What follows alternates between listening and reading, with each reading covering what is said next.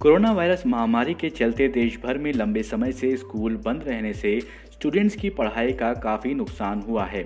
पढ़ाई में हुए इस नुकसान के कारण छात्रों के दबाव को कम करने के लिए सीबीएसई एकेडमिक ईयर 2020-2021 के लिए स्कूल के सिलेबस को 30 फ़ीसदी कम करने का निर्णय लिया गया है। मानव संसाधन विकास मंत्री रमेश पोखरियाल निशंक ने खुद इस बात की जानकारी दी है।